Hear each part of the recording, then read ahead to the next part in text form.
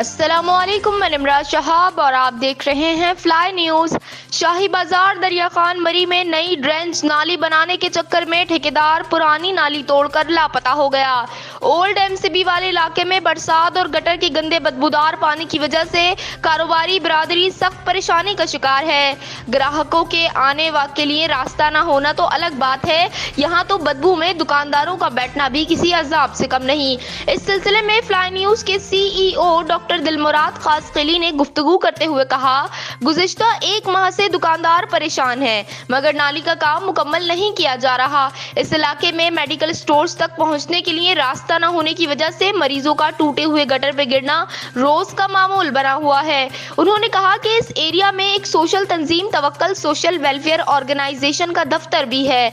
गंदगी और रास्ता न होने की वजह से गरीब और नादार अफराद की वहाँ तक रसाई भी नामुमकिन हो गई है। दूसरी जानब शहरियों ने मुतालबा किया है कि टूटी हुई नाली को जल्द बनवाया जाए। बसूरत दीगर टाउन इंतजामिया की नाकस कारकर्दगी के खिलाफ सख्त एहतजाज किया जाएगा।